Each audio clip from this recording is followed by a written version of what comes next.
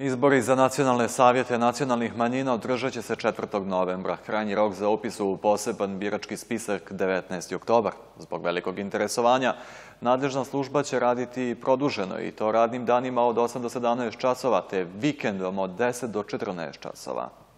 Odeljenje za opštu upravu u Gradskoj upravi za izvorene i poverene poslove trenutno ima najviše posla oko upisa građana u poseban birački spisak koji na to imaju pravo. Upis u Poseban birački spisak se vrši isključivo na lični zahtev, znači potrebno je e, građani da ponesu ličnu kartu i zahtev e, da ga svoja, ručno potpišu. Stav i ministarstva i opšte zakonska regulativa je tako, e, takva da se zahtev za upis u birački spisak mora podnositi isključivo lično i uz svoje, ručni propis. Znači nikako, nikako to ne može uraditi drugo lice. U slučaju da se radi o teškom bolesniku koji je nepokretan, on može uz ovlašćenje nekom članu porodice da dođe sa takvim ovlašćenjem koje, znači biti, koje će biti regularno i overeno kod e, notara i na taj način e, drugo lice može izvršiti upis za lice koje je onemogućeno da dođe i da se upiše u birački spisak birački spisak se zaključuje 19.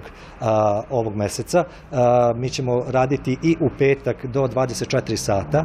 Posle zaključenja biračkog spiska, upis i promene u biračkom spisku, vrši isključivo Ministarstvo za državnu upravu i lokalnu samoupravu.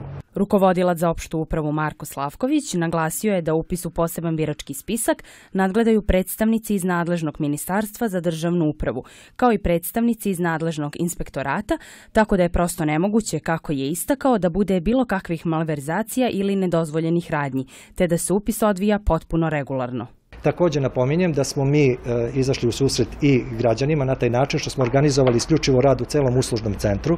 Znači povećali smo i broj ljudi koji su dobili ovlašćenje od ministarstva, tako da trenutno četiri osobe rade na ovaj, prijemu zahteva. Prosto naša namera je znači da se što više e, ljudi pripadnika nacionalnih manjina upišu na spisak koji prosto e, da ostvare svoje pravo koje im zakon i ustav ovaj, omogućavaju.